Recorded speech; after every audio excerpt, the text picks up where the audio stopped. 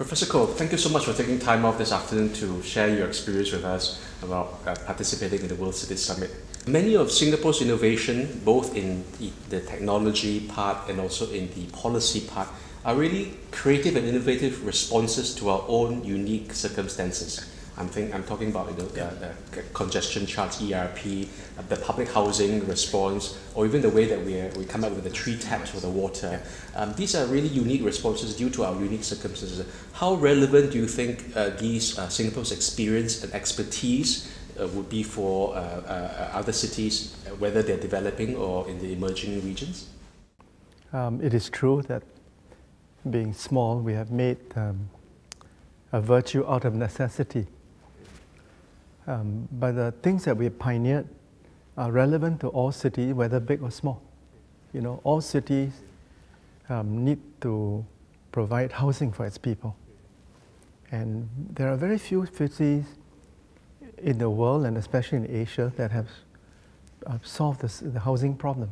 In Singapore, we can say that no matter how poor you are, the state will help you to find a place to stay. And the state will encourage as many of you as possible to actually be homeowner, you know. Um, there are large numbers of people in Asia that don't have access to safe drinking water and basic sanitation.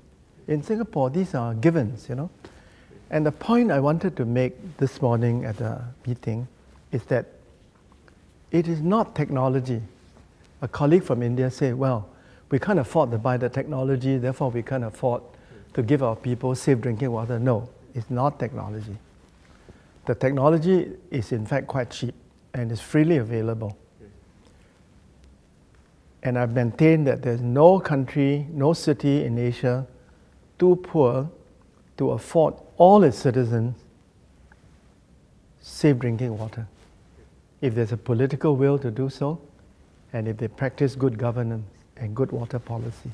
So I think that we are able to say, you know, and show to, our, to other cities that wish to look, at, look to us for, for inspiration that you can provide housing to your people, you can uh, provide sustainable transportation, um, you can have um, a, a good balance between urbanization and greenery